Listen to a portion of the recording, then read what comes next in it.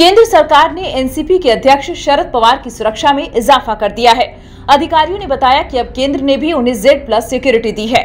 शरद पवार को अभी राज्य सरकार की तरफ़ से जेड प्लस सिक्योरिटी कवर है। राज्य में घटनाक्रम और चुनावी माहौल को देखते हुए केंद्र सरकार ने सुरक्षा का सुझाव दिया था, जिसे शरद पवार ने स्वीकार कर लिया है। सुरक्षा बढ़ने के बाद अब सीआरपीएफ के 10 जवान काफिले में रहेंगे। कुछ दिनों पहले केंद्रीय एजेंसी की तरफ़ से शरद पवार की सुरक्षा की समीक्षा की गई थी। शरद पवार से उनकी दिनचर्या और कामकाज के ठिकाने जैसे विषयों पर बात हुई थी। महाराष्ट्र में विधानसभा के चुनाव होने हैं। अभी तक चुनावों की घोषणा तो नहीं हुई है, लेकिन अक्टूबर नवंबर में यहाँ चुनाव कराए जा सकते हैं। चार अक्टूबर को हरियाणा और जम्मू कश्मीर के नतीजे घोषित किए जाएँगे।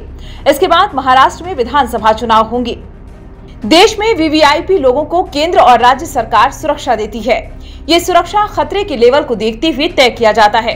सरकार वीवीआईपी की सुरक्षा का आकलन करती है और फैसला लेती है। देश में बड़े नेताओं, जज, खिलाड़ियों और अभिनेताओं जैसे वीवीआईपी को सुरक्षा प्रदान की जाती है। जेड प्लस भारत की सर्वोच्च सुरक्षा कैटेगरी है। इस सुरक्षा कवर में सीआरपीएफ के 10 जवान एनएसजी कमांडो और पुलिसकर्मी शामिल होती हैं।